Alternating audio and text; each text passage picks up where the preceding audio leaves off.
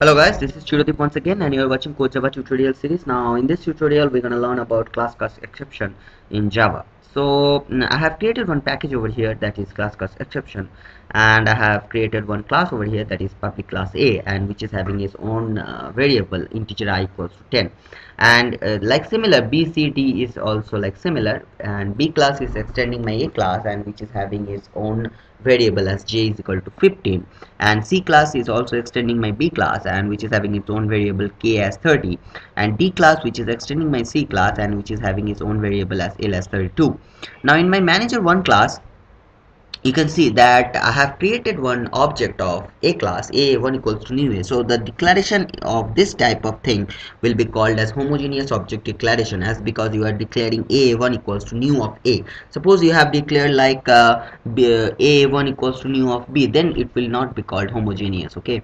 And in my second uh, second line you can see that uh, b b1 equals to b of a1 so it will show you an error because uh, because of this uh, this particular line uh, as a cannot be casted to the b b type. And you can see that a cannot be casted into the b, b class and it will show you an class cast exception because uh, it's not available over here. So it cannot be resolved to the actually in the b class. So this line will show you an error and moving to my next uh, next program here you can you can uh, see the basics of class cast exception. Uh, remember this line actually.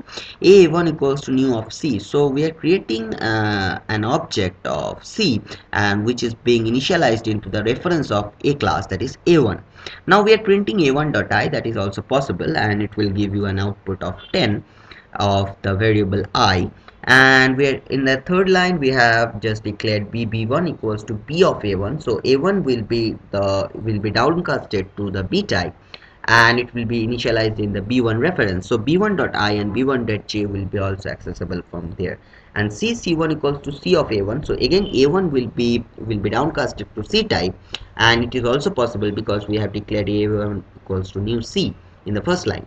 So uh, the variable ijk of the C class which is also accessible uh, from the C class because as because C class is extending my B class.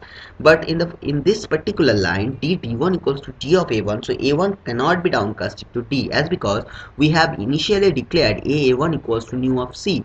So only A class will be down can be downcasted to C class for, until C class actually. But uh, D class it can't be downcasted so it will show you an error. And it will give you the proper output of a1.i b1.i b1.j and c1.i c1.j and c1.k but after that it will show you an exception. Let's have a look. If you run this particular program you can see that uh, first uh, there is a 10 10 there is a actually 10 uh, for a1.i and then b1.i and b1.j is equal to 10 and 15 and again this c1.i c1.j and c1.k equals to 10 15 and 30 after that after that there is an error. As because c cannot be casted to the class cast exception d.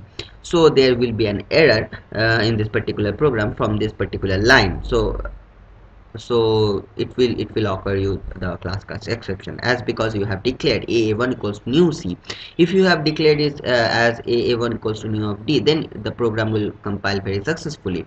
But as you have declared that aa1 equals to new of c then uh, the program will not compile as because you have you have the permission to downcast to uh, maximum the level of c over here now in the last program you can see that I have declared one reference over here b of b1 and it will be initialized of the object type new of c now a1 equals to b1 this is also possible. We are creating uh, one reference of a class a1 and will be initialized by b1 and b is all itself accessible from the we are creating the object of new c. So a is also accessible from b. And object class is the parent of any other classes. So object o1 will be also accessible and will can be initialized by b1 itself and C class which is itself uh, the new of C. So C class is also available and C of O1 is also available. So it can done down object class is can it can be downcasted to C. As because in the third line we have written that object O1 equals to B1 so it will it the compilation and running time will be very success for this particular program. If you run this program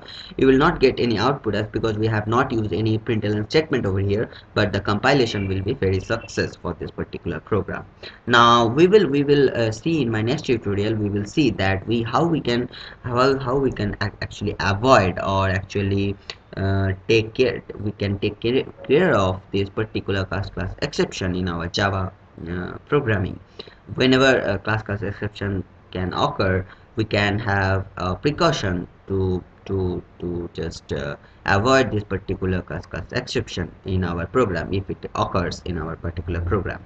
So there is a method there is a there is a way you can solve resolve this particular problem so for this particular tutorial i hope you have you have understood what is the main features of class expression and why it occurs and the various ways to get occurred or get an uh, get an exception of this type. So i hope you have learned uh, learned it and thanks for watching and have a nice